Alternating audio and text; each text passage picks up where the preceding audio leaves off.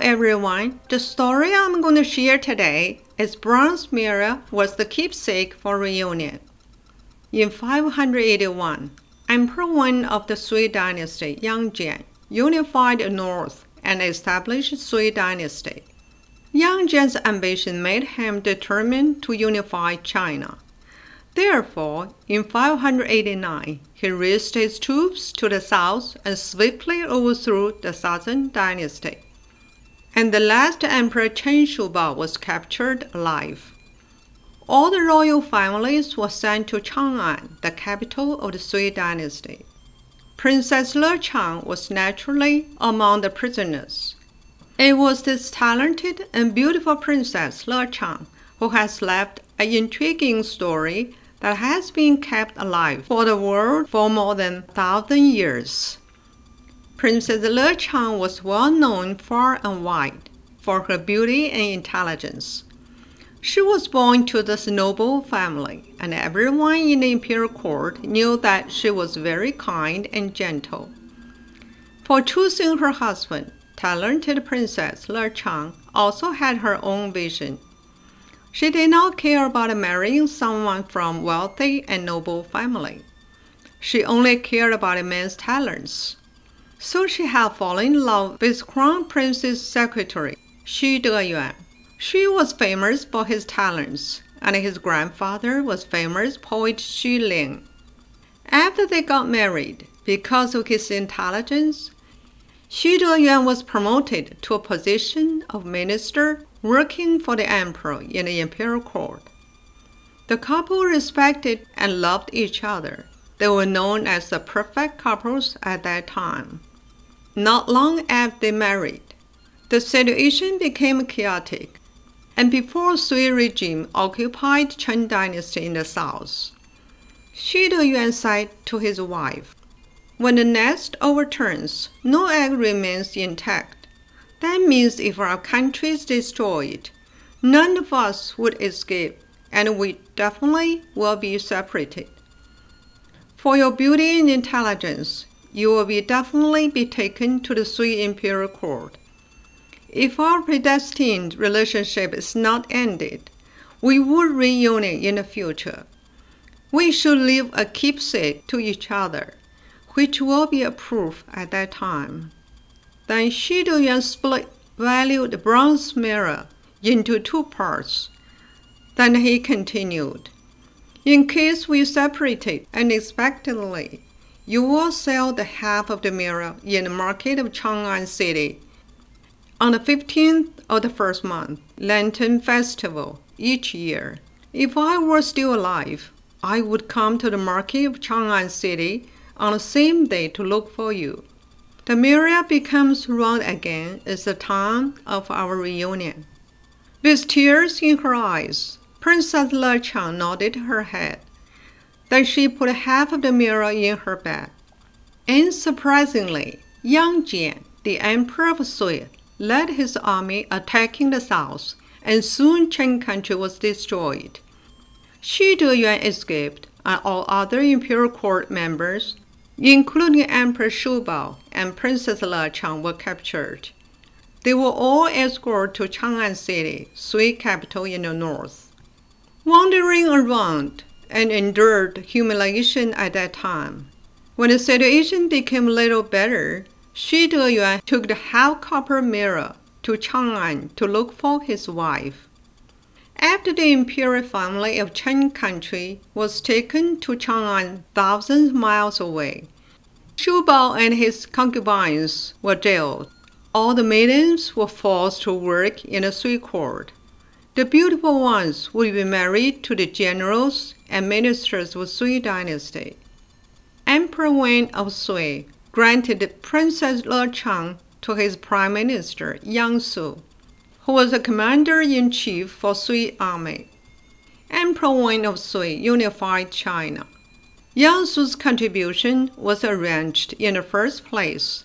He looked handsome and talented both civil and military. After getting married with Princess Le Chang, Yang Su loved her very much and specially built a mansion for her. But Princess Le Chang was very depressed and was not happy at all. Although she was in the north, but her heart was still in the south with Xu Deyuan.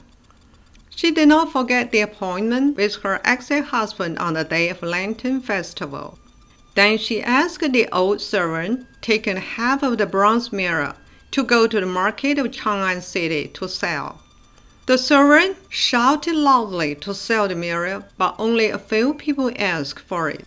When hearing the price was very high, they just gave up. The second year, on the day of Lantern Festival, the old servant went there again. This time, she brought back another half of the mirror with a sad poem. It turned out that when the old servant was selling the mirror in the market, and Shi Yuan came, he learned everything about Princess Le Chang from the old servant. Then he took out another half of the mirror, which was exactly the other half of the whole mirror, and gave it to the old servant. Princess Le Chang saw the other half of the mirror and read a poem wrote by Shi Yuan. Tears were rolling down her cheeks. She was so sad and could not eat anything. Yang Su saw it and asked her what made her so sad. She eventually told him all about. Yang Su asked her if she would like to go back to her ex-husband. She said, you are so good to me, I cannot simply leave you like this. But my ex husband loved me so much. He found me according to our appointment. I cannot bear to endure to separate from him.